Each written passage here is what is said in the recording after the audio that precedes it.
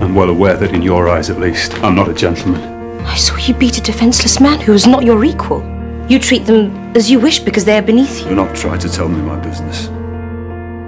Remember, they do things differently here. You've not formed an attachment to her, have you? She's from the south. She doesn't care for our northern ways. She's very unlikely to consider me a catch. As if I would ever consider her son as a suitor.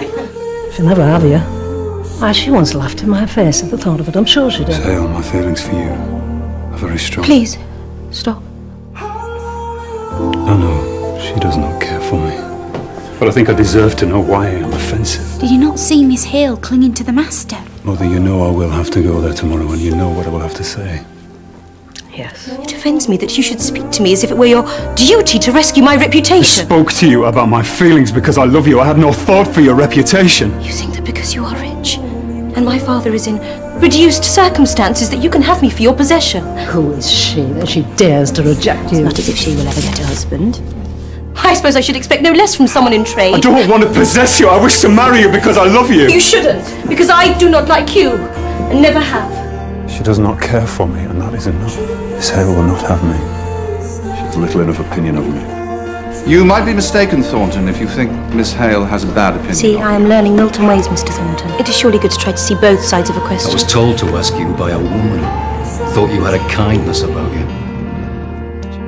Was Miss Hale the woman that told you to come to me? He's a gentleman, Fred, and has been very good to us. Good day, Miss Hale. I have to thank Mr. Thornton, please. No thanks. I did not do anything for you. I'm sorry. For what? That you find my feelings for you offensive? Or that you assume because I'm in trade I'm only capable of thinking in terms of buying and selling? Or that I take pleasure in sending my employees to an early grave? No! Do you not realise the risk that you take in being so indiscreet? I'm aware of what you must think of me. I hate to think that Mr. Thornton thinks badly of me. I hope you realise that any foolish passion for you on my part is entirely over. I'm looking to the future. Miss Hale here knows the depths we men in Milton have fallen to. How we masters only strive to grind our workers into the ground.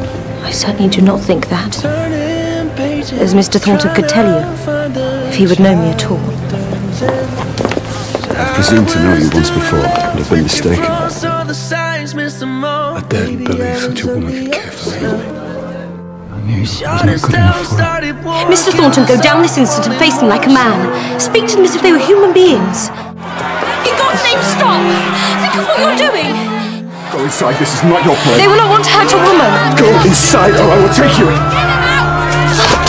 She rushed out in front of an angry mob and saved you from danger. And she has shown her feelings for all the world to see. She did save me.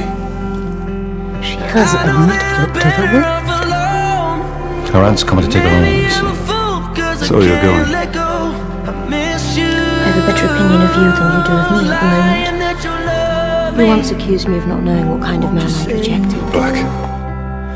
You're back at me. But you were right. Yet I think I love him more than ever. The man you saw me with, he... Was her brother? Don't judge him harshly. And what more proof do you need that she should act in such a shameless way?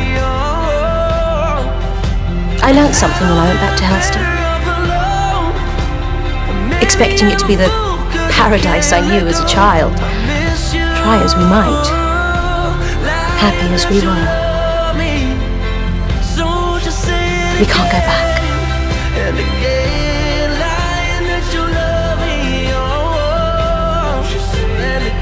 Going home with me. I'm looking to the future.